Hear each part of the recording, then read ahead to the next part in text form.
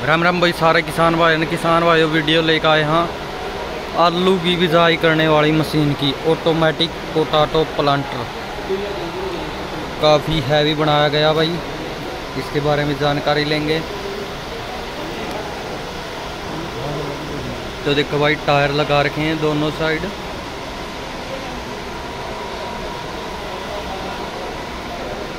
तो किसान भाइयों, पहले इसमें लोहे के टायर आते थे, अब आप देख रहे हैं इसमें किस चीज़ के हैं रबड़ के? रबड़ के टायर दे दिए हैं। छः ज़ीरो ज़ीरो सोलह के टायर हैं ये। और जो इसमें लोहा यूज़ किया गया, वो टाटा कंपनी का किया गया है। पेंट क्वालिटी भी बहुत बढ़िया है। तो और भी बातें पूछेंगे इसके बारे में। अब क्या नया दिया ये चीज़ नई दी है इसमें। जो पहले लोहे के टायर आते थे, अब क्या सर? ये सब चीज़ें एडजस्टेबल है। ये सब पीछे एडजस्टेबल है। इसमें आप और क्या सर आलू की दूरी जो है जिग जैक और हाँ हाँ। उसकी जो दूरी है वो सेट कर सकते हो। जो बिजाई का आलू जो गिरता है ना उसकी हाँ। दूरी आप ऑटोमेटिक सेट कर सकते हाँ। यानी कि कितनी दूरी पे पौधा लगाना है मतलब डालना है? तो भाई वो यहाँ से सेट कर सकते हो आप। एक फुट की दूरी पर डालना है छः इंच की दूरी पर डालना है।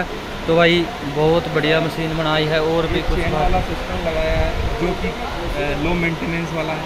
हाँ जी सर मेंटेनेंस आता है इसमें। क्या था पहले? चेन ड्राइव चेन ड्राइव पहले ये पट्टे वाला था अब पहले पट्टे वाला था अब चेन ड्राइव दे दिया इसके अंदर। इसका जो वेट है 580 किलो का है। इसका वेट 580 किलो है हज़ार 2021 मॉडल है। टैंकी कितने की है सर इसकी? डेढ़ क्वांटल। की इसके अंदर खाद? इसके अंदर आप खाद डाल सकते हैं आगे। कितना खाद आता है सर इसके अंदर? डेढ़ कुंटल और जो पीछे? 240 केजी। दो सौ चालीस के जी ठीक है सर।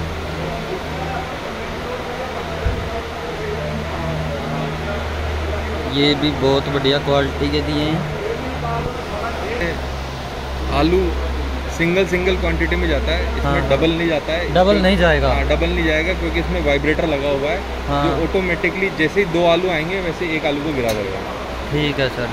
और कोई भी फेरा खाली नहीं जाता है इसमें सब में आलू भर के जाएगा। तो ठीक है सर धन्यवाद जानकारी देने के लिए? तो भाई वीडियो को शेयर करिए ज़्यादा से ज़्यादा मिलते हैं जल्दी। नेक्स्ट वीडियो में जय जवान जय किसान।